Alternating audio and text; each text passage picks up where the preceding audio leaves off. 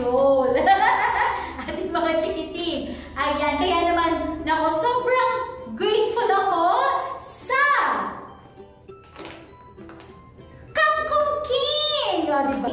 Siyempre, kangkong. Gusto natin yan. Pero ito, crispy talaga naman. Tinikman ko na yan. I super duper love it. May iba't iba sila mga flavors.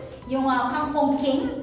Ayan, merong barbecue flavor, may sour cream, may cheese, may plain flavor or no flavor. Ayan. Low in calories. Low calorie, low fat. Nako, sa mga nagpapapayat kagaya ko. And, uh, I know, right? Hindi naman kaya, pambihira. Okay, rich in vitamins A and C.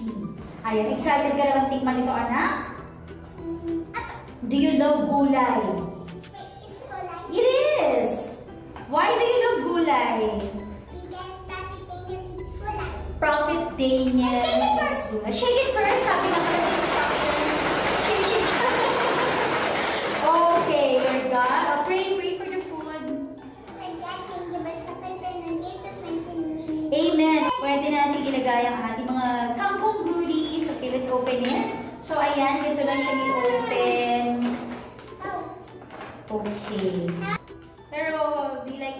The texture?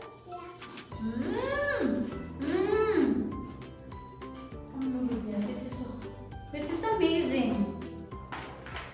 Ang sarap. And it's very nutritious.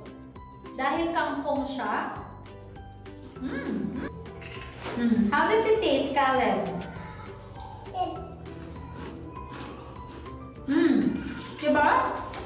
Mga nagpapapayat kagaya ko, mga diabetic na gaya ko, at dahil sa mga anak natin, this is such a healthy treat. Mmm! Mmm! Yes, and please do visit their Facebook page so you can order. You can be a reseller too!